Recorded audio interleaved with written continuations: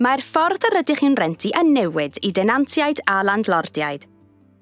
O'r cyntaf o ragfer 2022, bydd deddf rhentu cartrefi Cymru yn newid y ffordd y mae pob landlord yng Nghymru yn rentu eiddo. Un o'r newidiadau mwyaf fydd cytundebau a chontractau tenantiaeth.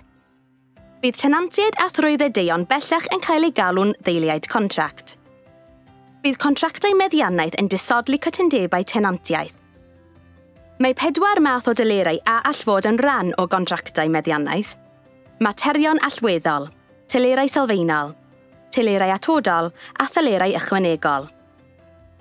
Rhaid i landlordiaid gyhoeddi datganiad ysgrifenedig i bob deiliad contract a rhaid iddo gynnwys holl dylerau'r contract – O'r cyntaf o ragfyr 2022, bydd yn rhaid cyhoeddi ddatganiadau ysgrifenedig ar gyfer contractau newydd o fewn 14 diwrnod i'r adeg feddiannu.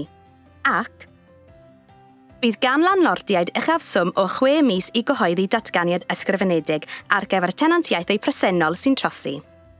Beth sydd angen i mi ei wneud fel lanlord?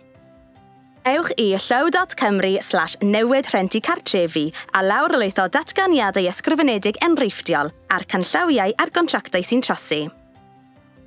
Beth sydd angen i mi ei wneud fel tenant?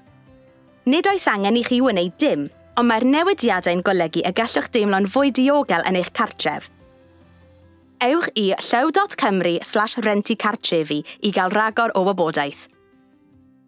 Gweithio gyda'n gilydd i roi cartref diogel i bawb.